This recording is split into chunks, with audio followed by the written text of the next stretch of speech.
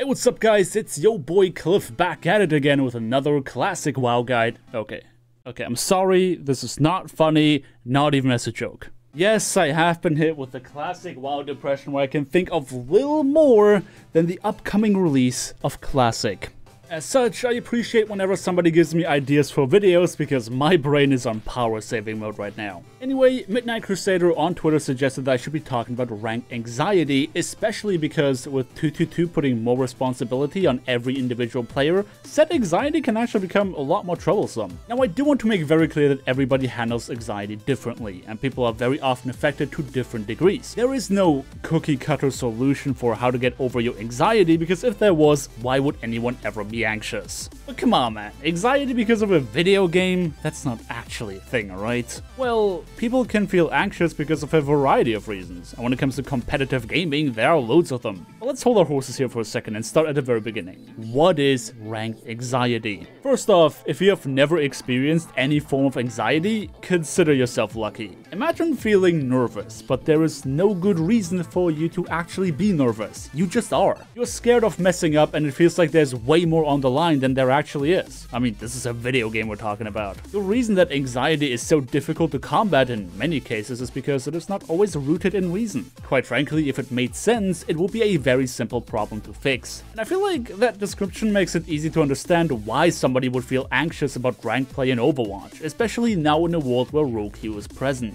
The fear of losing the rank that you worked so hard to get, apprehensiveness to the possibility of running into toxic players, being scared that you're going to underperform because of how nervous you're feeling, all these things make it difficult for some people to hit that queue button for competitive play. And today, I want to share two stories from two very different people with you. One from a player who had to deal with ranked anxiety for a while before overcoming it, and another player who has not had any such problems until recently. Here are Nateson and I sharing our stories. I hope you enjoy. With that video you made two years ago, you tried to help people overcome ranked anxiety in the way you overcame ranked anxiety would you do like if you remade the video today would you say anything different based on the experience you made between then and now well one thing i know for sure i kept playing overwatch so you, you know as you can probably see whatever my border is in that video like for my like xp your border and now look at video from now i have played a lot of overwatch since and the most almost all that is in competitive and one thing i can say to ranked anxiety is if you just keep playing the game and playing through it your nerves will just settle and mm-hmm. I never get nervous in games now. And it is so funny that we would make a video like this now where you're talking about this because for the first time in years since that video essentially I, I actually got nervous last week when the season was ending because i was i was lucky enough and actually haven't i haven't mentioned it on the channel um, on my channel but i finished in top 500 season 17 and I was so nervous because I knew when I was looking at my SR, I was like 4370 or something like that. I'm at 4370. So I'm in top 500. The season ends in like two days. And I knew that I needed to win one more game to officially end in it without having to be worried. And that last game, I had never been like, it was a weird feeling being nervous like that in an Overwatch match. And lucky enough, I did win that next game to like have my certain finish in top 500 but I was so nervous because it, I knew this was like this was going to be the first time I've ever finished in top 500 on top of I knew that this probably would be my last chance in a sense because I don't know how much I can keep playing Overwatch during college like to keep up like I have this summer and get lucky enough that Roadhog was such a core part of the meta and I looked at him as my personal best hero. Like so everything was lining up. This was my one shot. I had to win this game and I was nervous, but we did it. Did you, at any point throughout the match, feel like your anxiety was holding back your performance, or did you manage to overcome it yes. once you were inside? Okay, tell me about it. The big thing is you have to play with confidence. Like you don't just hold back because people know what they're doing. No one's there to just like mess around and throw like a bronze. You have to play aggressive and you can't let people survive. I found myself playing very conservative. Like I was very cautious with my ultimate. I was playing, I feel like I was playing with a little bit more S than W. I was timid. Timid's probably the best word. I was a timid, timid player that match. I could feel my performance was not at its 100%. I, I was probably playing at like my personal skill level in terms of mechanics and decision making I was probably playing at like 75%, but like my teamworkness and my ability to work with others was working at like overdrive 250%. I was trying to be like super overly nice guy, Nate. Good job, Anna. That's really where no. Okay, so and I'm working out the ultimates. Uh, so I guess my decision making was okay. I was making sure that we weren't going to blow every ult every fight, and I was being so like freaking annoying about it with everyone. Like, all right, guys, I'm gonna say it one more time. We're not using this one. We're gonna use the, these two, and then we're gonna try to see if they can trans this. So then once they trans it, we're gonna use blade, and then we can throw a nano on that if we're gonna kill everyone. It, it was so funny, but I had never been that nervous in a game in my life. Dude, it's a manifest of go goats, please. It's my GM game. Come on, guys, just go goats. One round, please. Go, go just go goats. exactly. It's, that's exactly what it's like. Mm-hmm. Go Goats, guys. It's my GM game. I just really want to win, guys. Please let me go Brig. um, the closest that I get to having a similar experience, and that was also just one game, really. Um, when I had this like super long break from competitive play, and I decided to come back to it, um, I don't believe that MMR decay is a thing in this game, because despite me being obviously much much worse than I was when I was grinding the game, I for some reason got into a like bona fide 4K game during my placements. So we were playing on Busan, I was on Ana, and I was just getting completely destroyed. I was like, first off, I got nervous when I saw the screen. I was like, why is this like average SR so high? Like, I'm so bad right now. And I just tried to get back into it. And I was getting absolutely destroyed by like Genjis and Hammonds and Reapers flanking. It was such a weird game for me.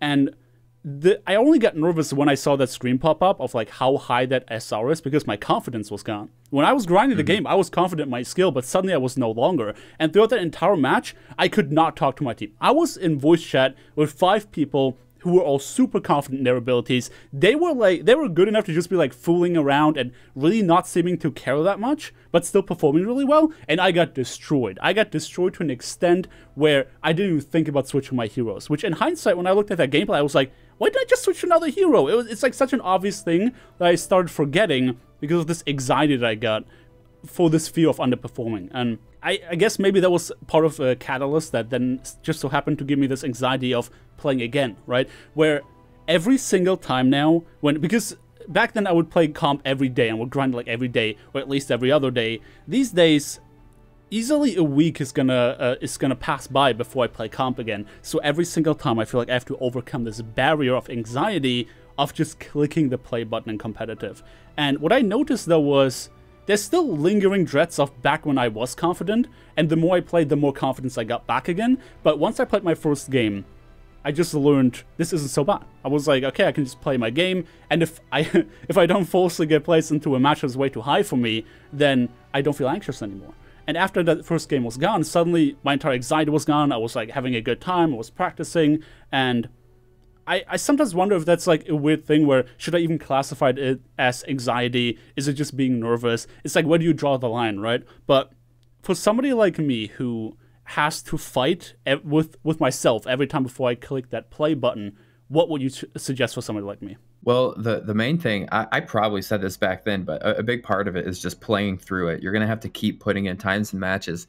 And there's I remember watching one of my favorite Magic the Gathering players of all time. His name is Brian Kibler, and now he's really famous in the Hearthstone community. I've met him a couple times, been lucky enough to sit down with him, and one thing I remember him saying was he doesn't really get. He said he like doesn't really get tilted and he doesn't really feel anything like how he used to because he's put so much time into these card games. And he's like a master of them. I think the same thing comes down to you know you pl- queuing for overwatch is you just have to keep playing and keep playing and with just sheer time and you're going to build that confidence. Like it, it the feeling of anxiety eventually just is numb. Like you become numb to the anxiety and you just play because you've done it so much and I used to get like personally, I would get super nervous if I was in like a, you know, back when I first hit GM, if I get pulled into a game above 40, 50, and I see like three streamers that are big, you know, my heart is racing. Like I can't mm-hmm. believe I'm in a game with all these players. And then there's this past week where it's like XQC and you know someone else on the other team two games in a row, and I was lucky enough to beat them both times.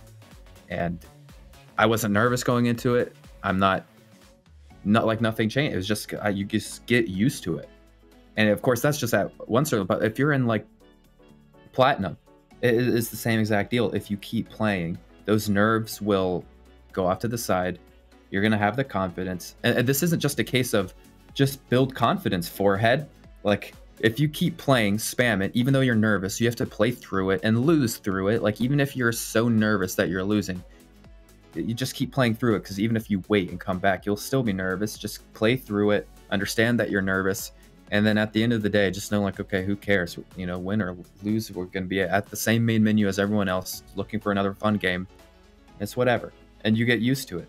When it comes to the whole playthrough it, it's a matter of experience. Like we're always afraid of things we don't know, and it's indicative when you say that, hey, it's the first time for you to be able to finish a season top 500. That's like a monumental kind of experience for a player that has been playing the game for so long and had this as a goal. It's like, oh my god, I don't want to drop out of this because I've never been this close. Same for me when I took this really long break away from the game. I'm like, okay, now I'm suddenly in this 4100 game where I clearly don't belong. I'm way worse than that right now.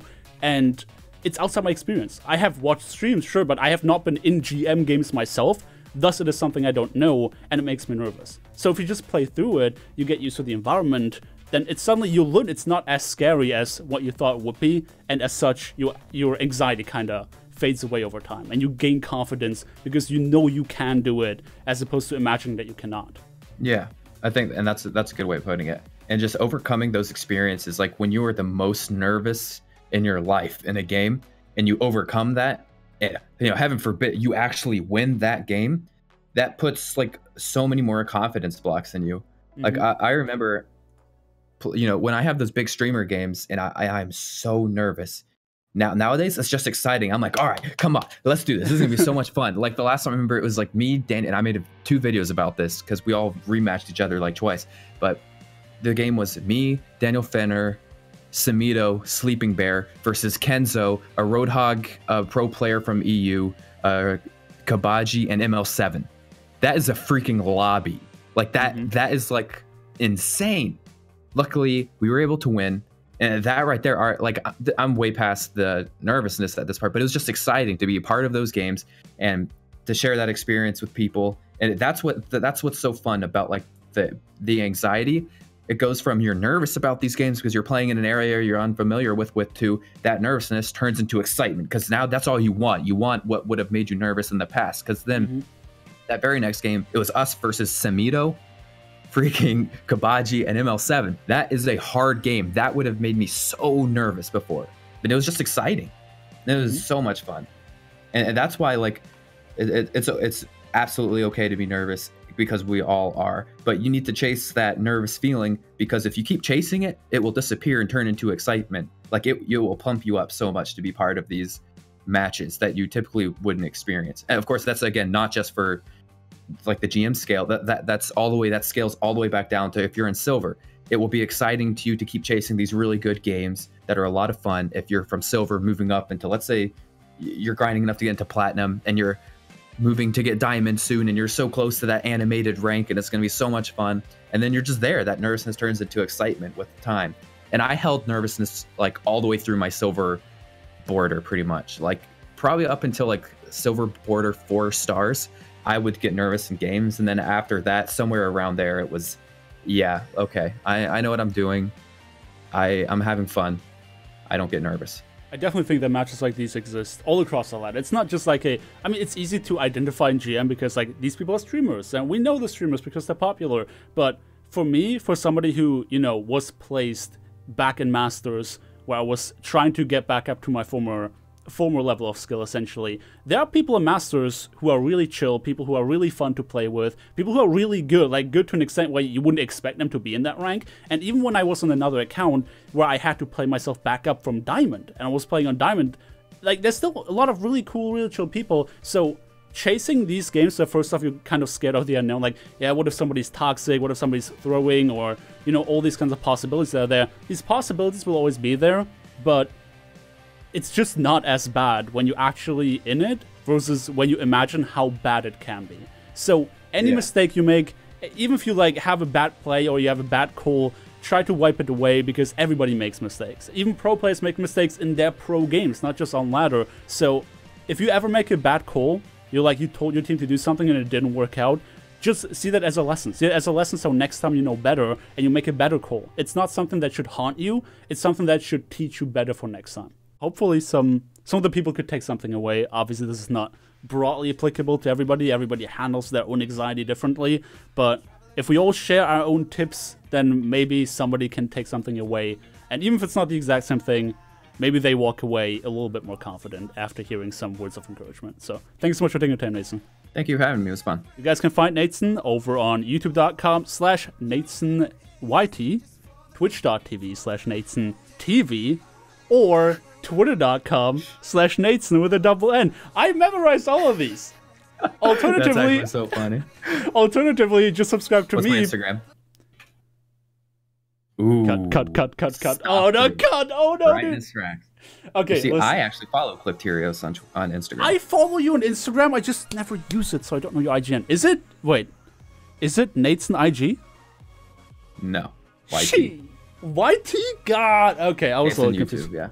Okay. Nate's neat is how I say it. Nate's neat. IG. Okay. But you know what? You're you're on my channel so often, people might as well just sub to me instead of subbing to you. Because honestly, if you want Nateson, it seems like you're here every other week anyway. So yeah, I like it. I kind of look at it as my channel is entertainment based, and then since I still like the competitive discussion, and I miss doing that in a, in a small sense, I can get mine fill out here. hey, that's cool. So sub to Nateson for entertainment, uh, sub to me for discussion, and leave a like down below. And I hope to see you guys next time. See ya. Bye.